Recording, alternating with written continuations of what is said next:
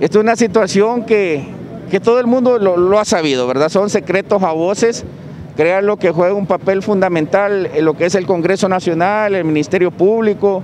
Se han hecho sordos, se han hecho ciegos, se han hecho mudos, ¿verdad? Eh, del clamor tanto doméstico como internacional. Se empezó diciendo, ¿verdad?, de que se tenía que renunciar, como también, ¿verdad?, que tenía que haberse hecho un juicio político se puso la, la, moción en lo que es el soberano Congreso Nacional por parte de la oposición partidarias, eh, no se hizo caso, ya se había pronunciado ya la, la, diputada Wesley Vázquez que eso no iba a pasar y no pasó, y en este caso crea lo que es justo y necesario, ¿verdad?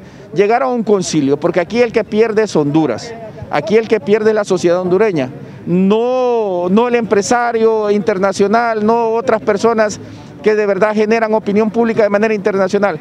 Pierde el hondureño como tal y en este sentido, ¿verdad? Dentro del orbe de las naciones, en el concierto de las naciones, Honduras está en el último asiento. ¿Por qué digo esto? Porque en este sentido nadie va a querer venir a invertir en un país donde hay inseguridad jurídica porque los políticos se han encargado de hacer la misma y en este caso, ¿verdad? Eh, la pobreza donde va a ir aumentando más la situación y va a ser invivible aquí por el sistema político que estamos viviendo. La renuncia como tal ni cerca la vemos.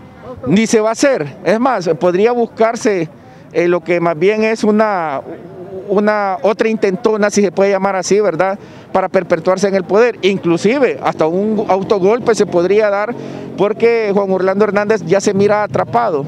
Eh, si bien es cierto, ¿verdad? Eh, Estados Unidos va a respetar siempre la figura del presidente y quizás esa va a ser la situación para que pueda hacer esa intentona, si se puede llamar así, para poderse quedar en el poder una vez más lo que más se lamenta es la, la no actuación de los poderes del Estado, la, los entes encargados de seguridad que deben actuar. Efectivamente, ¿verdad? Lo, lo, los aplicadores de justicia, lo, los persecutores de los que persiguen lo, que es el, el delito.